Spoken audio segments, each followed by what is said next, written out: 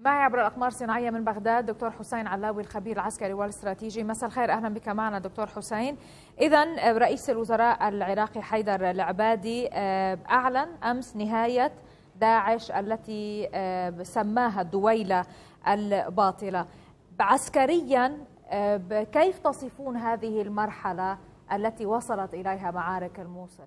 حسم تام؟ يعني نعم. أكيد عسكريا الآن آه، آه، هنالك تقدم بنسبة 65% تقريبا أو قد يزداد طبعا خلال الساعات المقبلة ويصل 70 أو 75% وهنالك آه، محاور ثلاثة المحور الأول يتقدمهم طبعا. جهاز مكافحة الإرهاب عبر الرتل الشمالي ومنطقة عبد خوب قد حررت وكذلك الرتل الجنوبي قد حرر سوق الشعارين كما ذكر مراسلكم ومنطقة النبي جرجيس. هذه منطقة حيوية واستراتيجية وبالتالي نحن ننتقل في الربع الأخير من المعارك وكذلك في المنطقة التي قد تكون مقاربة إلى النهر بواقع 527 متر. نحن نقترب الآن من النهر وبالتالي المعارك الآن الأخرى التي تقودها قوات الشرطة الاتحادية قد تكون في شارع النجفي بعد أن أكملوا المحور الجنوبي من السرج خانة.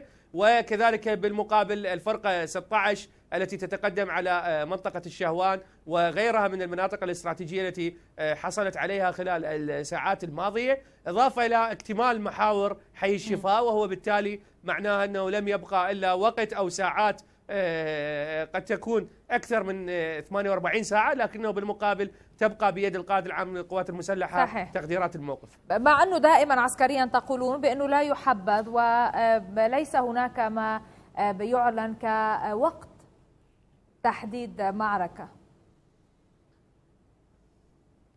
أكيد طبعا إنه لا يمكن تحديد المعركة يعني كتوقيت زمني لأنه أي استشراف الآن تظهر هنالك متغيرات جديدة، هنالك الآن تغيير دوما في الخطة الاستراتيجية في الطرق الآمنة للمدنيين والمدنيين حقيقة ما يهم قوات جهاز مكافحة الارهاب أو الشرطه الاتحادية أو الجيش العراقي ولاحظنا في التقرير كيفية إنه الإجلاء المدنيين وكذلك الحصول على العقد الاستراتيجية والعقد الجغرافية المهمة كجامع النوري الذي حقيقة أعلن كيان داعش الإرهابي يعني منذ تفجيره بتغيير استراتيجيته واتباع الأرض المحروقة وبالتالي هو سيحاول استخدام الأساليب القذرة التي تهدد المدنيين ونحن يعني يعني ترى القوات العراقية حقيقة وفق منطلق القائد العام للقوات المسلحة إن الإنسان قبل الأرض وبالتالي الإنسان حقيقة عزيز لا يعوض لكن الأرض ومبانيها تعوض وبالتالي هكذا استخدم كيان داعش الارهابي الجغرافيا الحضريه وكذلك المدنيين كدروع بشرية لمحاولة عرقلة النصر لكن هذا لم ينجح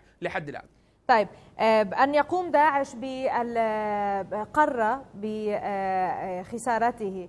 كيف سيضر هذا أو يكون تأثيره في من تبقى من أفراده؟ في نتحدث عن 200 إلى 300 فرد تبقوا هناك. يعني اولا هذه التقديرات كانت قبل تقريبا 48 ساعة، الآن تقديرات للمقاتلين الأجانب الذي غالبيتهم طبعا أجانب في المدينة وهنالك قليل عراقيين. محليين موجودين فيها. الآن تقديراتنا قد تؤشر من خلال المعلومات التي نستقيها من ال social media من القيادات العسكرية. تقريبا 150 أو أدنى من هذا العدد طبعا من مقاتلين بقوا في هذا المكان. وبالتالي هم يحاولون يعني أن يتبعوا استراتيجية الأرض المحروقة. يعني هم منذ تفجير الجامع النوري حقيقة. وهذه اللحظة المحورية التي غيرت حتى زمام المعركة وخطة المعركة وجعلت القيادات العسكرية قيادة العمليات المشتركة تعيد تنظيم أمورها في إطار الإحداثيات الجديدة التي غيرت كل الطرق التي كانت محسوبة من قبل جهاز مكافحة طيب. الإرهاب في عملية الانقضاض على الجامع والسيطرة عليه وبالتالي هو يحاول طبعا أن يعلن الخسارة بتفجيره للجامع وأصبحت جنوده كالثيران الهائجة الفاسدة التي تحمل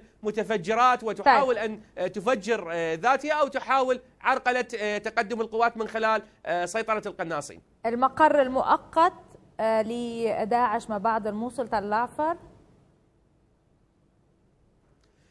قد يكون تل عفر وقد يكون مركز القيادة الاستراتيجي طبعا دير الزور التي الآن منطقة الميادين إحداثيات التحالف الدولي تشير بين الحين والآخر بصيد قيادات استراتيجية مهمة لكيان داعش الإرهابي وبالتالي القيادة التكتيكية في العراق يعني أتوقع أن قضية تل قد لا لا يمكن رسم بها صورة القيادة الثابتة وإنما قد تكون قيادة تكتيكية، لكن القيادة الاستراتيجية قد تكون أو تبقى فيما يسمى في منطقة ولاية الفرات والقائم وعانه وراوة التي تستعد طبعا القوات العراقية لحملة كبيرة باتجاه هذا المحور. طبعا بعد الموصل إضافة لمحور الحويجة التي ظهر اليوم بيان إلى البنتاغون أو تسريبات كذلك من ناطقين رسميين باسم وزارة الدفاع العراقية عبر إحدى القنوات الأمريكية ومواقع التواصل الاجتماعي الذي أشار نعم. إن الأولويات الاستراتيجية قد تكون لقيادة العمليات المشتركة والقائد العام هو الجانب الإنساني وبالتالي الحويجة هي الأولى على اعتبار أن تل الآن في غالبيتها. صحيح هنالك مواطنين محتجزين من قبل داعش لكن هنالك مقاتلين أجانب ومقاتلين من داعش. أنا أشكرك جزيلا على هذه المشاركة معنا عبر الأقمار صناعيه من بغداد دكتور حسين علاوي الخبير العسكري والاستراتيجي شكرا دكتور حسين.